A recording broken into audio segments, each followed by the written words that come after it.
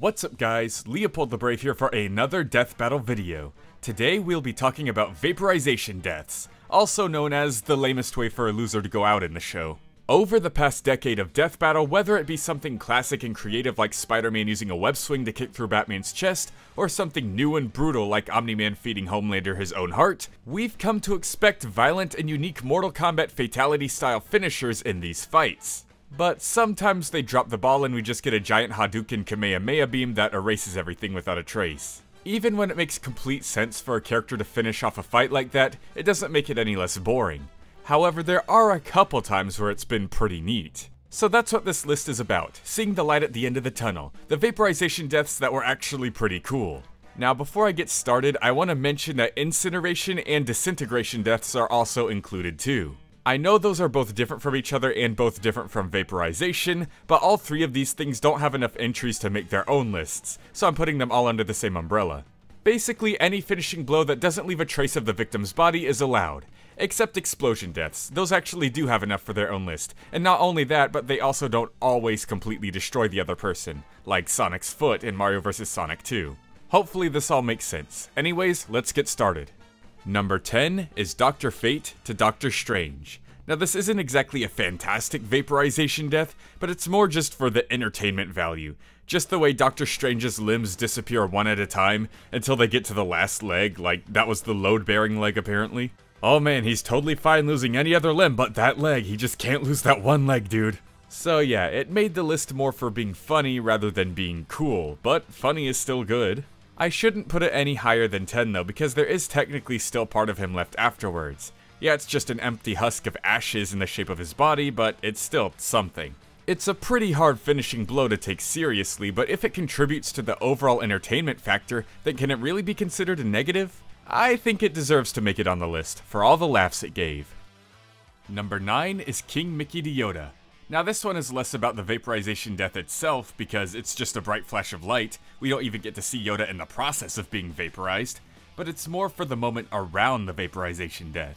The build up to this final flash, the incredible music, how fitting and in character it is for King Mickey to vanquish his foes in a blinding burst of light, the fact that Yoda got to stick around as a Force ghost after his body was completely erased. It was an oddly comforting finisher if that makes any sense. Like, there's no other way King Mickey would destroy his foes, and there's no other way we'd want Yoda to go out. It looked very painless and calm. For most of the season premieres and finales, we're used to the big boys, the cape dudes, the anime protags. Just two heavy hitters wailing on each other. We're not used to this more lighthearted, calm, and floaty battle. It was a very feel-good ending, and that wouldn't have been possible without the vaporization. Number 8 is Naruto to Ichigo and this is a pretty good candidate for the standard of vaporization deaths. You're either as good as or better than this one, or you're below average. If you'll notice, the previous two entries on this list had a catch attached to them. Strange Fate relied on the fact that it was entertaining in a funny way rather than being a cool and neat death, and Yoda vs. King Mickey relied on everything around the vaporization death rather than the vaporization death itself. But Naruto vs. Ichigo is about where the catches stop. While there's nothing super unique or fantastic that you could point out about this vaporization death, there's nothing super bad you could say about it either. The music is fine, the visuals are fine, the voice acting's fine, the moment is pretty cool with Ichigo taking a last stand even though he has no power left, and it's over pretty quickly and doesn't linger for too long. This vaporization death pretty much says this is the only way this fight can end and you just have to deal with it. And I'm cool with that. Number 7 is Star Butterfly to Steven Universe. Now you may be wondering why this is ahead of Naruto to Ichigo, because at first glance this appears to be on a much smaller scale. The attack is tinier, it's over much quicker, there's no planetary shot to show the range of the devastation of this attack, and so on. But just because it's a smaller attack doesn't make it any less powerful. This beam is beefy, and it hits hard, and I put this one over the other one just because of how painful this one looks. There's no beam struggle, there's no Steven pushing back at it with his shields, there's no long drawn out disintegration, he just gets smacked with it and it's over. He wasn't even looking at it, it just snuck up on him from behind. And you can tell that even though he didn't see it coming and it was over no longer than 2 seconds, you just know those last 2 seconds were pure agony. And I know his skin is all pink because he's using his diamond powers, but the visuals of the pink skin really help show off just how burning and intense this beam was. If I were to ever do a top 10 most painful looking death battle deaths, this would definitely be a contender despite its short length. Number 6 is War Wargreymon to Red and Charizard. And this one's honestly hard to watch, it's just sad. Now, I've never been the biggest fan of Pokemon, but it was still part of my childhood, seeing most of the Diamond and Pearl anime. So I definitely knew what the bond between a Pokemon and its trainer meant, and how powerful it truly was. And seeing them go out like this in a fiery blast so intense that even the fire type Pokemon couldn't resist it, burning so intensely that not even a shadow of ashes remain, along with the incredibly somber music that just accompanies the moment, it's just a really depressing finisher, and it's hard to think of any other death battle that feels this way. The fact that Red was clearly the instigator and villain of this battle and even annoyed me a bit, yet still managed to get these emotions out of me is pretty impressive. I will never not laugh at Tai punching him in the face though.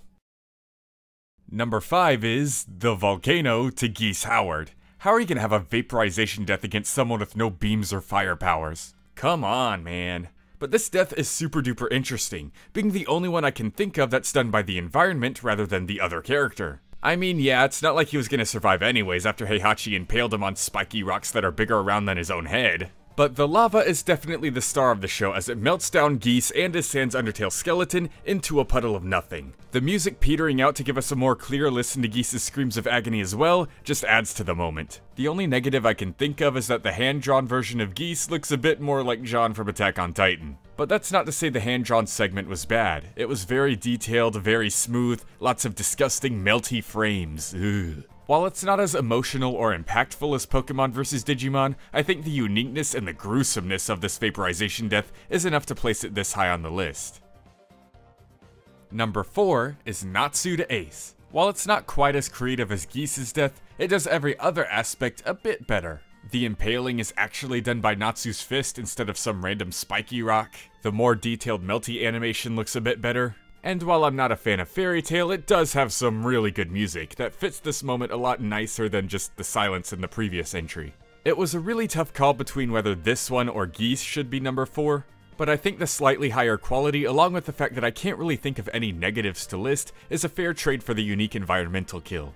Plus, just imagine how much more hot and painful that one would have to be. It incinerated someone who's literally made of fire. How does that happen? Uh, no really. How? I didn't watch the analysis for this one. Someone tell me.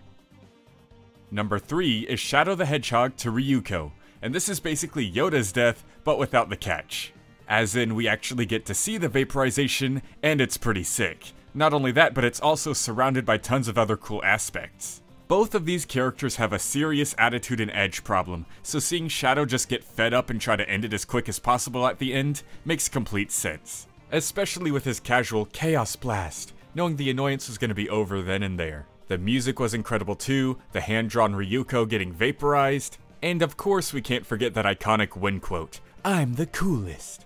Yoda vs King Mickey may have been a better fight overall with more accurate portrayals of the characters, but when it comes to the vaporization death itself, few are as flashy or stylish as this one. I have no problem giving it the bronze medal. Number 2 is Iron Man to Lex Luthor. Now, despite this still being a very good episode, it doesn't quite hold up to me as well as it does for others. And that does include the climax, as I was disappointed to find out that the playing human line is just repurposed from the comics and not a cool death battle original they came up with. But everything else about this ending is just as good as it's always been. The music, the visuals, the hype buildup, how in character they are, and of course that vaporization death, where Tony erases Lex Luthor with not only his own power, but all of Lex's too. I like how you can even see Lex getting atomized as each of his particles disappear into the beam. This is to Ryuko's vaporization what Ace is to Geese's incineration. It's not quite as creative or stylish, but everything else from the music to the visuals is ever so slightly better. And I gotta give it credit for making it to number 2, even though it didn't age as well for me as it did for other people. And number 1 is Superman to Goku.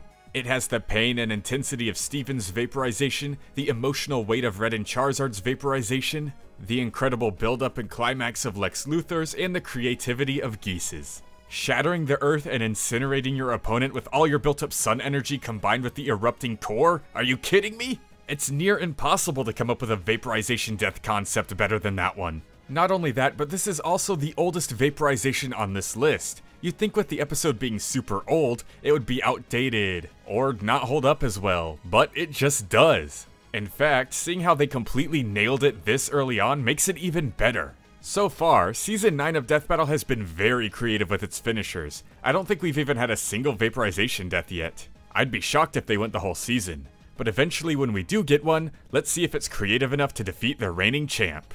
But let me know what you guys think. What's your favorite vaporization death? And which one do you think is the lamest? Mine would be Iron Fist. He kinda just turns into confetti when Po touches him. But I'll be sure to read all your answers too in the comment section below. I'll see you guys next time. Leopold the Brave, out.